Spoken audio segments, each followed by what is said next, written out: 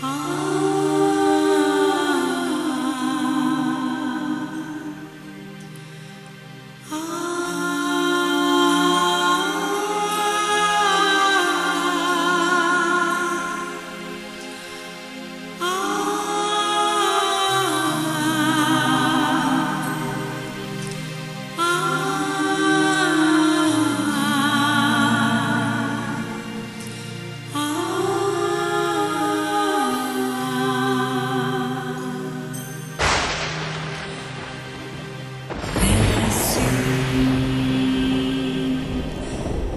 Hallelujah.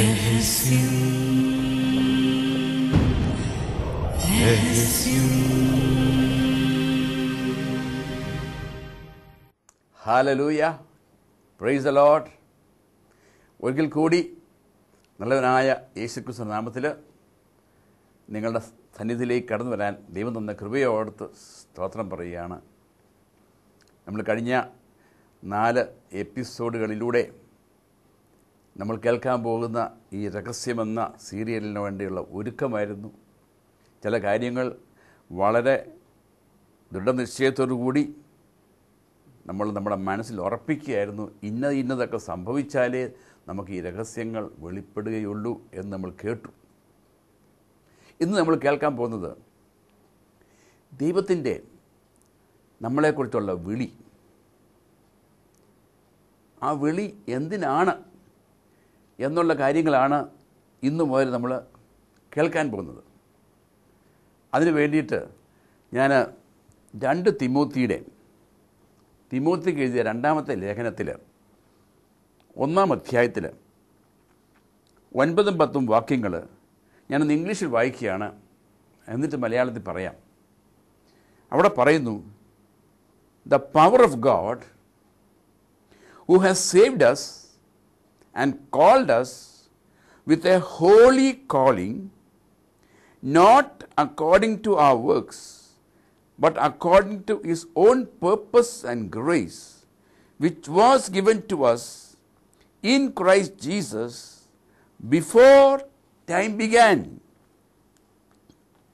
ദൈവം ദൈവത്തിൻ്റെ ശക്തിയാൽ നമ്മളെ വിളിക്കുകയും നമ്മളെ രക്ഷിക്കുകയും ചെയ്തത് ആ വിളി ഒരു പരിശുദ്ധമായ വിളിയാണ്.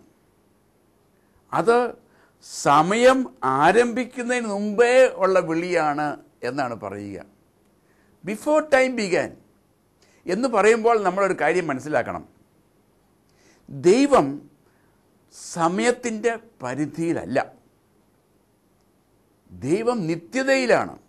ഗോഡ് ഈസ് ഇൻ ഇറ്റേണിറ്റി നിത്യതയിൽ സമയമില്ല. ആരംഭമില്ല. അവസാനമില്ല.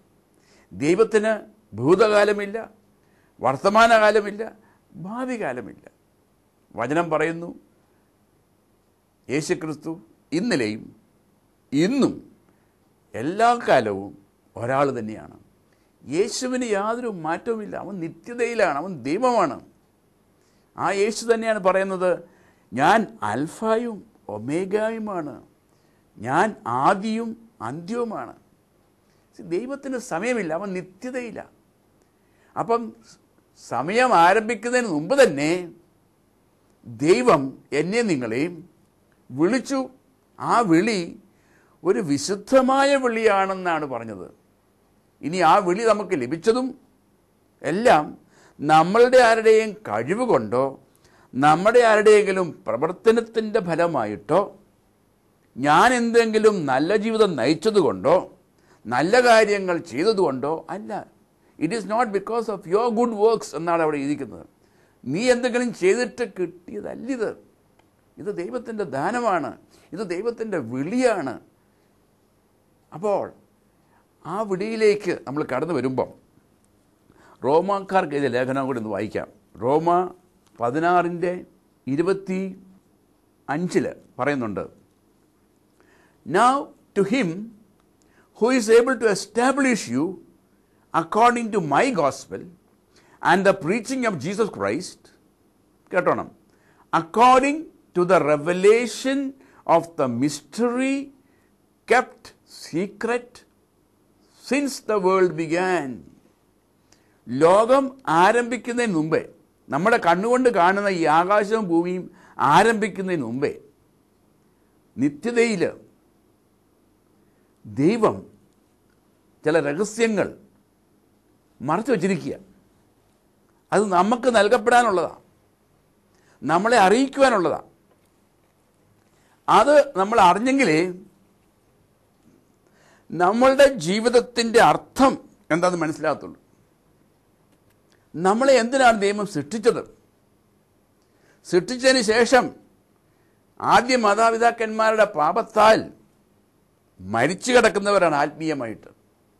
നമ്മൾ ജനിക്കുന്നത് തന്നെ പച്ച മലയാളത്തിൽ എല്ലാവർക്കും മനസ്സിലാകുന്ന രീതിയിലാണ് പറയുന്നത്. നമ്മൾ ജനിക്കുന്നത് തന്നെ നരകത്തിലേക്ക് പോകാനുള്ള ക്യൂയിൽ നിന്നുകൊണ്ടാണ്.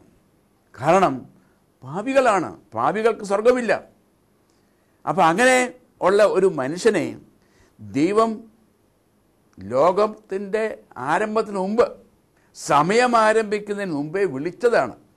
എന്നാൽ ആ വിളിയിലേക്ക് വരാൻ തടസ്സമായി നിൽക്കുന്നത് പാപമാണ്. അതുകൊണ്ടാണ് അവൻ രക്ഷിച്ചത്. അപ്പം നമ്മളെ വിളിച്ചതും നമ്മളെ രക്ഷിച്ചതും ഒരു പ്രത്യേക ഉദ്ദേശത്തിനാണ്. ആ ഉദ്ദേശങ്ങൾ ദൈവവചനത്തിൽ മറഞ്ഞു കിടക്കുന്ന ദൈവത്തിന്റെ രഹസ്യങ്ങളാണ്. ആ രഹസ്യങ്ങൾ നമുക്ക് വെളിപ്പെടുത്തി കിട്ടിയെങ്കിൽ ആ രഹസ്യങ്ങൾ നമുക്ക് മനസ്സിലാക്കുവാനും അതനുസരിച്ച് നമ്മുടെ ജീവിതത്തെ കർത്താവിന്റെ കരങ്ങളിൽ പൂർണമായിട്ട് സമർപ്പിച്ചുകൊണ്ട് നമ്മുടെ ആ വിടിയിലേക്ക് കടന്നു വന്ന് നമുക്ക് ജീവിക്കുവാനും അവസാനം ദൈവസന്നിധി നിൽക്കുമ്പോൾ നമുക്ക് കിരീടം ലഭിക്കാനും സാധിക്കുകയുള്ളൂ. ഇത് വളരെ പ്രാധാന്യമാണ്. ഇവിടെ ഞാൻ എത്ര നല്ല ജീവിതം നയിച്ചു എന്നുള്ളതല്ല പ്രിയപ്പെട്ടവരെ അത് ലോകം തരുന്ന ഒരു തെറ്റായ സന്ദേശമാണ് ദൈവത്തിന്റെ വചനത്തിന് വിരുദ്ധമായിട്ടുള്ളത്.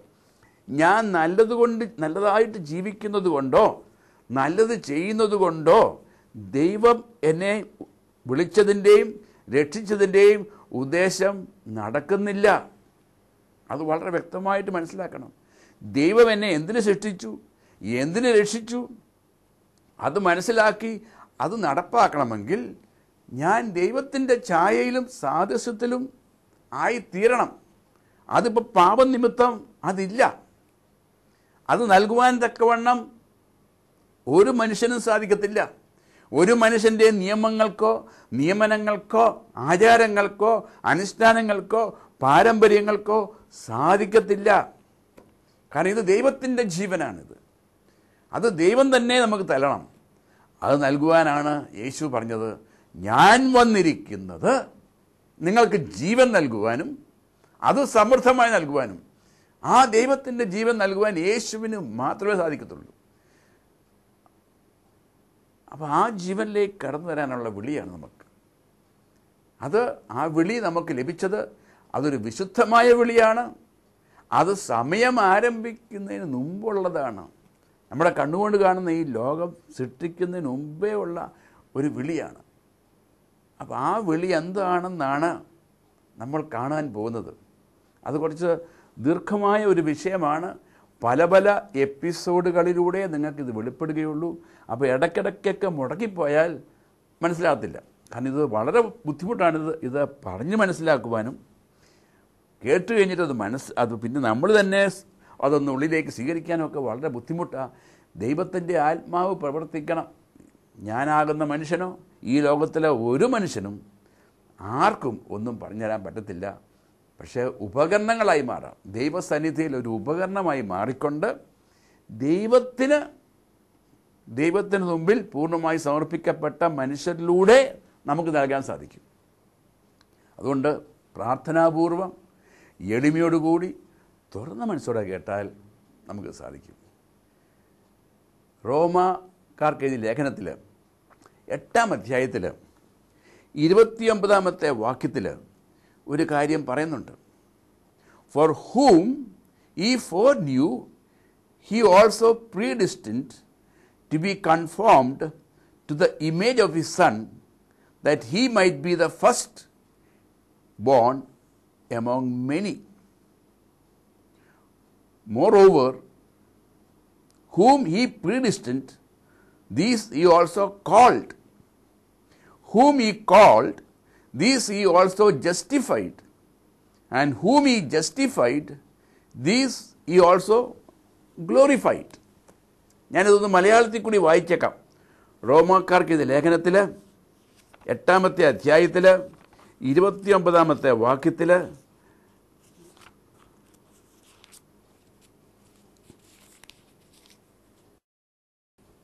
അവിടുന്ന് മുൻകൂട്ടി അറിഞ്ഞവരെ തന്റെ പുത്രന്റെ സാദൃശ്യത്തോട് അനുരൂപരാക്കാൻ മുൻകൂട്ടി നിശ്ചയിക്കുകയും ചെയ്തു. ഇത് തന്റെ പുത്രൻ അനേകം സഹോദരിൽ ആദ്യജാകർ ആകുന്നതിന് വേണ്ടിയാണ്. താൻ മുൻകൂട്ടി നിശ്ചയിച്ചവരെ അവിടുന്ന് വിളിച്ചു. വിളിച്ചവരെ നീതീകരിച്ചു. നീതീകരിച്ചവരെ മഹത്വപ്പെടുത്തി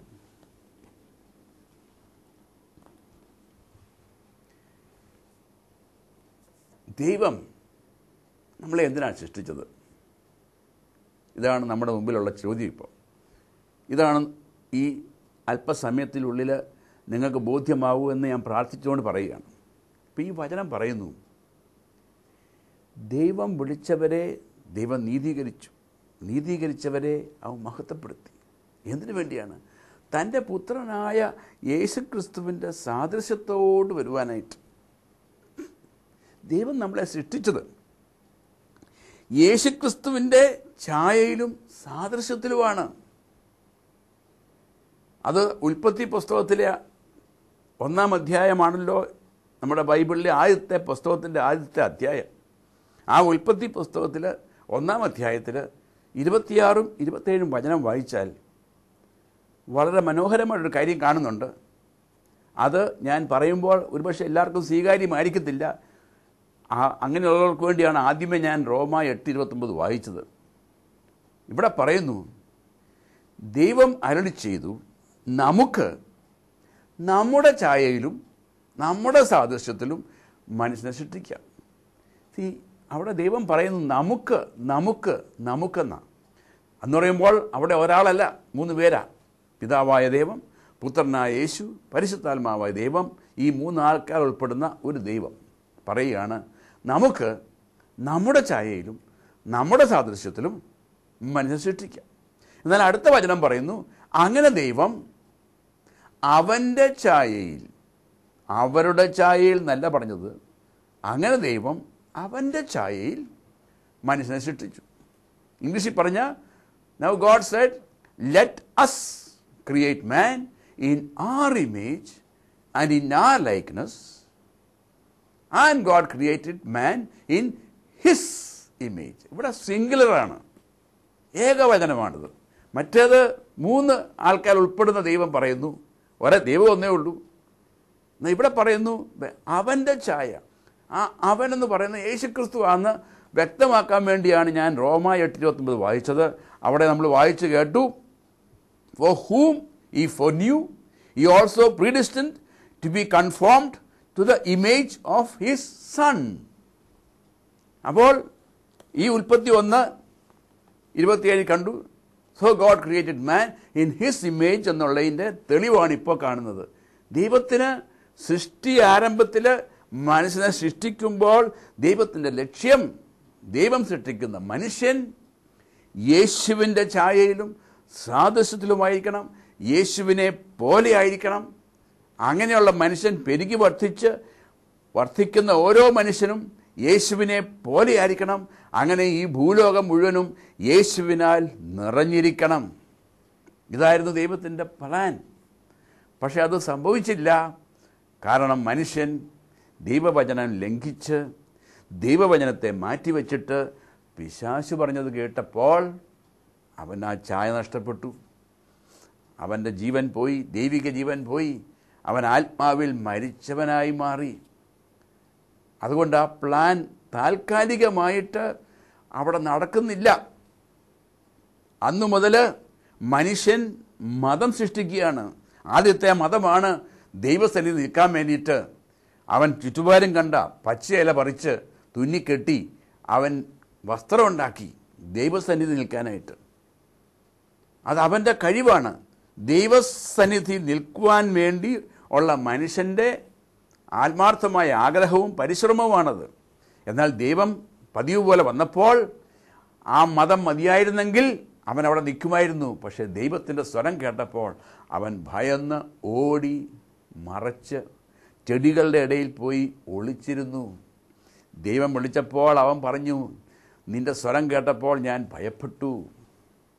അപ്പോൾ പ്രിയപ്പെട്ടവരെ ഞാൻ ഇത് വായിക്കുമ്പോൾ മനസ്സിലാക്കുന്നത് ദൈവാത്മാവിന്റെ വെളിപാടിലൂടെ മനസ്സിലാക്കുന്നത് ദൈവം സൃഷ്ടിക്കാത്തതും ദൈവം ഉദ്ദേശിക്കാത്തതും ആഗ്രഹിക്കാത്തതുമായ മനുഷ്യൻ കണ്ടുപിടിച്ച മാർഗങ്ങൾ അവനെ ദൈവത്തെ ദൈവത്തോട് ഒരു നെഗറ്റീവായിട്ടുള്ള ഒരു ഭയം കൊടുക്കുകയും അവനെ ദൈവത്തിൽ നിന്നും അകറ്റി ഓടിക്കുകയും അല്ലാതെ അവന് ദൈവസന്നിധി കടന്നു വരാൻ പറ്റത്തില്ല. ഇതാണല്ലോ ഇവിടെ കാണുന്നത്.